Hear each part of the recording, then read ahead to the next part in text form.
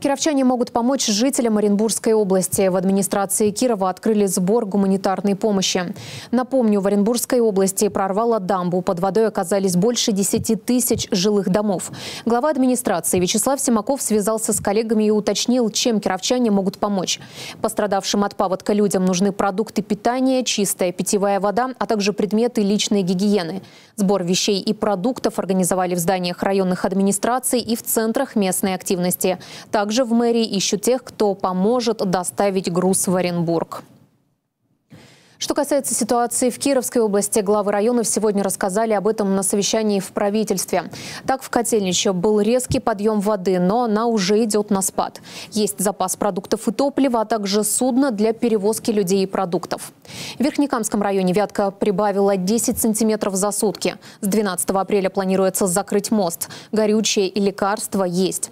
В Малмышском районе также все готово на случай ЧС. В Яранском и Кикнурском районах вода идет на убыль. Словам начальника управления гражданской защиты администрации губернатора и правительства, пик половодья в Кировской области ожидается в третьей декаде апреля с 20 числа.